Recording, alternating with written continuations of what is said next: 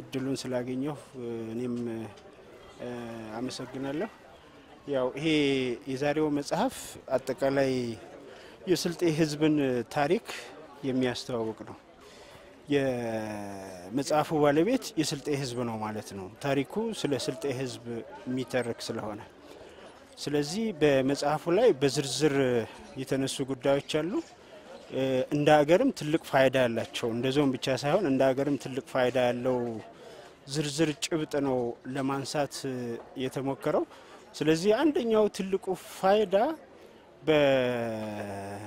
በሚቀጥለው ትውልድና በአሁኑ ትውልድ መካከል ያለ የመረጃ ክፍተት የሚሞላ ትልቅ ፋይዳ ያለው ነው። ስለዚህ አንድ የመረጃ ክፍተት በመሙላት ትልቅ ሚና ያለው መጽሐፍ ነው።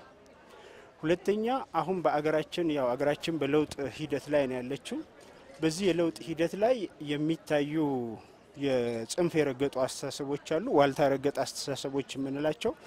ስለዚህ ይሄን በሚያስታርቅ መንገድ መካከለኛ መንገድ ለማሳየት የሞከረ ትልቅ የታሪክ መጽሐፍ ነው።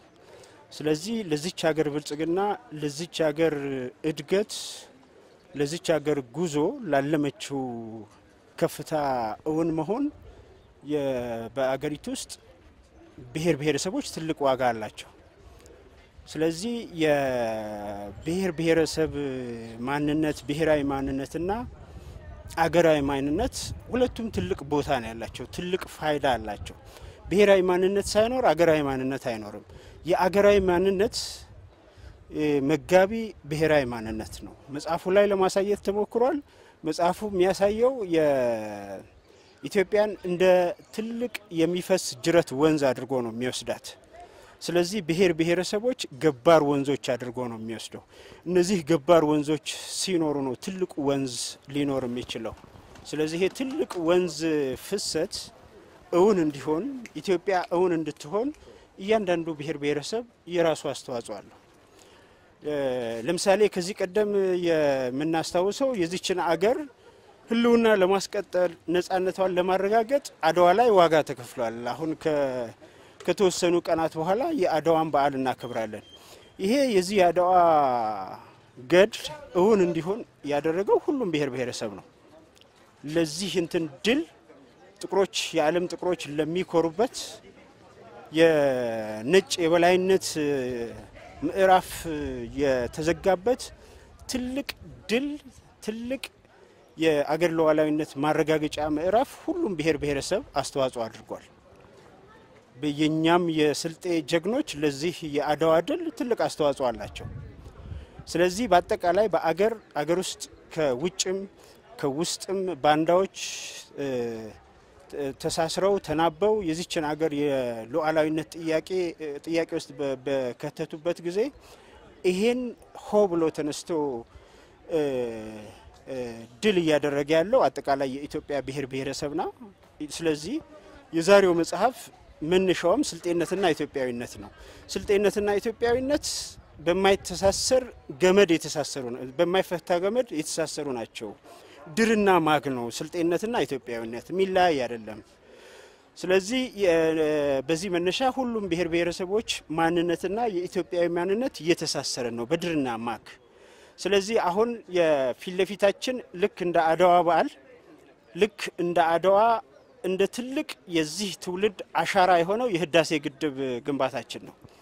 ስለዚህ ይህን የህዳሴ ግድብ ግንባታ እውን ለማድረግ ሁላችንም እንደ ስልጤ የትልቅ አስተዋጽኦ እያበረከትን ነው።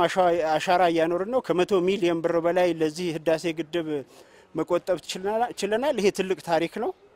ስለዚህ ሁሉም ብሔር ብሔረሰብ የተጀመረውን የህዳሴ ግድብ እውን በማድረግ ላይ ሁላችንም መተባበር አለብን። ሁላችንም ድርና ማግ ሆነን መንቀሳቀስ አለብን።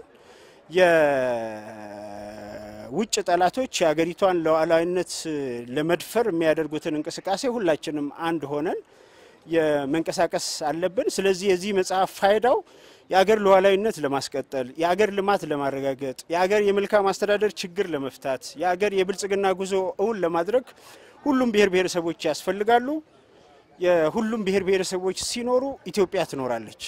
ትልቋ ኢትዮጵያ ትልቁ ጎጆ ቤታችን ኢትዮጵያ ትኖራለች የሚል መልእክት ነው የሚያስተላልፈውና ስለዚህ የቀጣዩ ትውልድ ወጣቱም ትውልድ ይሄን መጽሐፍ በማንበብ ስለ ማንነቱ በደንብ መረዳት አለበት። በአገር ግንባታ ሂደት የስልጤ ሕዝብ ሚናው ምን እንደሆነ በደንብ ማወቅ አለበት። ለሚቀጥለውም ትውልድ የማስተላለፍ ስራ መስራት አለበትና መጽሐፉ በሁሉም ዘርፍ በሁሉም ዘርፍ በኢኮኖሚው፣ በማህበራዊ፣ በፖለቲካ ዘርፍ ትልቅ ፋይዳ ያለው መጽሐፍ ነው። በዚህ አጋጣሚ አብዱልፈታህ ትልቁን ጸሐፊ አብዱልፈታህ ሁልዳርን የላቀ ምስጋናዬን ይድረሰው እላለው። ሁላችንም መጽሐፉን ገዝተን እናንበብ የሚል መልእክት ነው ያለኝ። በጣም አመሰግናለሁ የተከበሩ አቶ አሊ ከድር እና ይህ መልእክት እየተላለፈ ያለው በወራቤ ቲዩብ አማካኝነት ነው። እንደሚታወቀው ወራቤ ቲዩብ ነው ዞኑ ላይ ይህንን ፕሮግራም ከእናንተም ጋር በመተባበር organize ስናደርግ የነበረውና ለማህበራዊ ሚዲያ ተከታታዮች በዚሁ አጋጣሚ ለወራቤ ቲዩብ ተከታታዮች የምታስተላልፈው መልእክት ካለ? መልካም የወራቤ ቲዩብም ሌሎችንም ድረገጾችን የሚከታተሉ የወጣቶች እና ሌሎችም የሚኖረኝ መልእክት አጠቃላይ የሕዝቡ ተጠቃሚነት ላይ በጋራ መንቀሳቀስ አለብን። ያው የምንከታተላቸው ነገሮች ድረገጽ በጣም ጠቃሚ ነው። ማህበራዊ ሚዲያ በጣም ጠቃሚ ነው። ወራቤ ቲዩብም እየሰራ ያለው ስራ በጣም ጥሩ ነው፣ ተጠናክሮ መቀጠል አለበት። ግን ያው አንድ የጋራ የሆነች ሀገር አለችን፣ ትልቅ ሀገር ኢትዮጵያ። አንድ የሆነ የወጣንበት ህዝብ አለ፣ የስልጤ ህዝብ። ስለዚህ የዚህን ህዝብ ተጠቃሚነት ማረጋገጥ የሚቻለው ሁላችንም፣ የተለያየ አስተሳሰብ ሊኖረን ይችላል፣ የተለያየ አመለካከት ሊኖረን ይችላል። ሁላችንም አንድ ሆነን የህዝቡን ልማት የሀገራችንን ሰላም የሀገራችንን ብልጽግና እውን ማድረግ እውን ለማድረግ የሁላችንም እንቅስቃሴ የሁላችንም ጥረት ይጠይቃል። ስለዚህ የሚተላለፉ መረጃዎች እውነቱን ከውሸት እየለየን ህዝብ የሚጠቅመው ለህዝብ የሚጠቅመው የትኛው ነው እያለን እየለየን በእውነቱ ላይ እየተረባረብን እውነት መቼም እውነት ነው። ውሸት እውነት ሊሆን አይችልም። ብዙ ጊዜ ተደጋግሞ ስለተባለ ውሸት በፍጹም እውነት ሊሆን አይችልም። ስለዚህ እውነቱን ከውሸት እየለየን የስልጤን ህዝብ አጠቃላይ በአገር ልማት ላይ ያለውን አስተዋጽኦ ከፍ ለማድረግ አጠቃላይ ሀገራችንን ሰላም ለማድረግ ህዝቡን የበለጠ ተጠቃሚ ለማድረግ ሁላችንም የበኩላችንን ሚና መወጣት አለብን የሚል መልእክት ነው ያለኝ። በጣም ከልብ አመሰግናለሁ። እኔም አመሰግናለሁ።